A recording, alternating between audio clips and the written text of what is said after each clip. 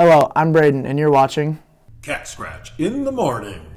Today is October 21st, and today for lunch we're having pepperoni pizza. Today at CHS we have a home football game against Rock Creek. The theme is Halloween, so remember to wear your Halloween costumes. Starting next week is Red Ribbon Week, starting with Mismatch Monday. Don't get mixed up in drugs, create a mismatched look.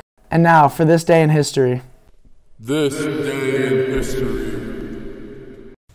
On October 21st of 1965, Walt Disney bought 27,000 acres of land on the outskirts of Orlando, Florida to build Walt Disney World.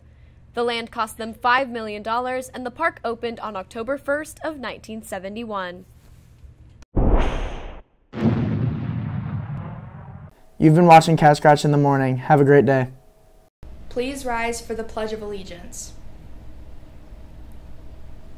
I pledge allegiance to the flag of the United States of America and to the republic for which it stands, one nation, under God, indivisible, with liberty and justice for all.